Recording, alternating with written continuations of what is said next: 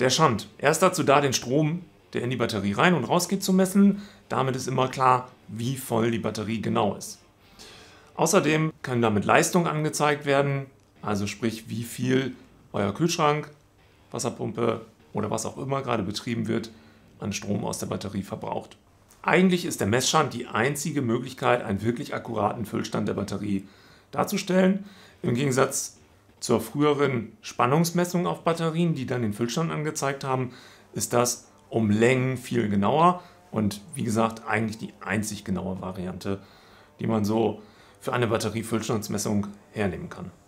Der Stand selber ist in der Regel ein Teil des Batteriecomputers oder des Anzeigesystems. Der Stand alleine kann in der Regel erstmal natürlich keinen Füllstand anzeigen. In diesem Fall haben wir einen, der ein Bluetooth-Interface drauf hat. Der kann das auf dem Telefon darstellen, aber es gibt natürlich auch Systeme, die direkt ein Display haben, auf dem der Füllstand, Strom, Spannung und Leistung abgelesen werden kann. Der Stand alleine für sich ist erstmal nur ein elektronisches Bauteil.